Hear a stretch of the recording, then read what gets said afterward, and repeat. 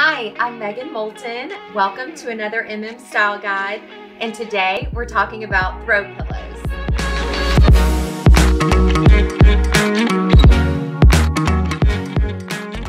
So when it comes to throw pillows, there's a few things to keep in mind. First is we mix the sizes on sofas and sectionals. So typically we do a 24 inch pillow behind a 22 inch pillow so that you have a little difference in height.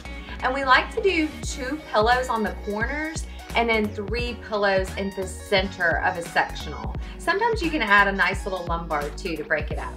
Second, you wanna think about mixing patterns and colors. So typically we'll do some larger prints behind smaller prints and always mix up the color palette as well, just to keep it interesting. Third, you wanna think about your insert size. So we like to use down inserts so that you can give the pillows a nice little chop in the middle. And then also make sure you order your down insert one size larger than the pillow cover. So those are just a few things to keep in mind when thinking about throw pillows in your space. You can always visit our shop online or come see us at our shoppable warehouse in Mount Pleasant.